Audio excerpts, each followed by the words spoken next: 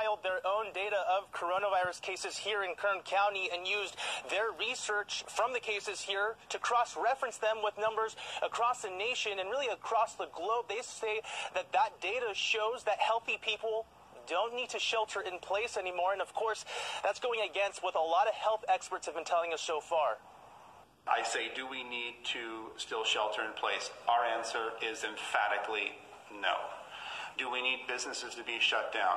Emphatically no. Do we need to have do we need to test them? And get them back to work?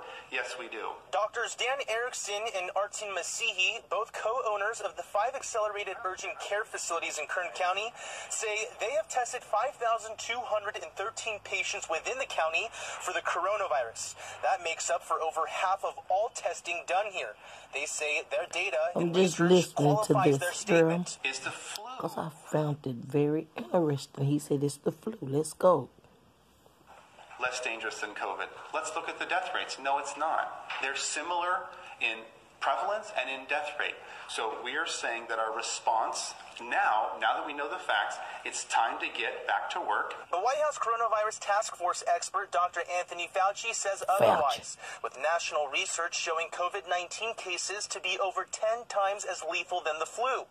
But Fauci's decades of experience as an immunologist and physician holds no weight in the eyes of Erickson and Massihi. We're actually seeing the patients.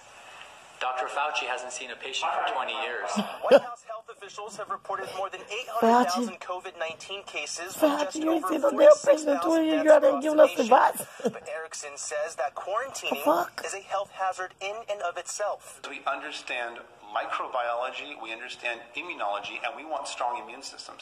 I don't want to hide Talking my home, ass, develop a weak immune system, and then come out and get disease. Reporting the disease. Now these are doctors seeing patients every day, Fauci. Healthcare professionals. ER doctors now, my friends that I talk to say, you know, it's interesting when I'm when I'm writing up my death report, I'm being pressured to add COVID.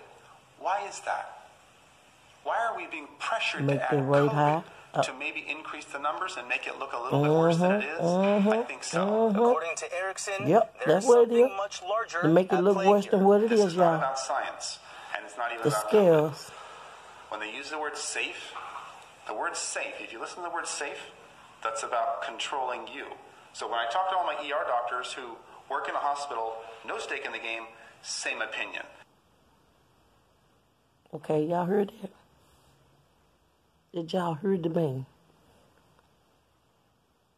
Okay, y'all just be careful. I know y'all ready to get out the house.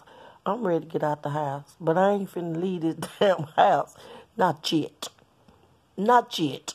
I ain't, uh, no, I ain't taking that chance. I'm gonna go to the store and go pick my medicine up when I need to. Mm-mm. Mm-mm, Fauci. You sound phony. what y'all trying to do, Fauci? Hmm. Y'all better think about it. Just think about it before you get out there. Put yourself out there. Just think about it. Be careful. Okay? And did y'all check on somebody today? Well, y'all, it's about check up about over with come Friday. I'm still check on y'all. Mm-hmm. Okay? For y'all that I told I won't check on y'all next week. it's next week. How y'all doing? Y'all all right? Well, you should be. You getting ready to go back to work on Friday. Y'all just be careful. They ain't said nothing about wearing your mask. So, pretty sure you're going to keep that damn mask on. So, y'all hold it tight to your hip like a pistol. Okay? See ya.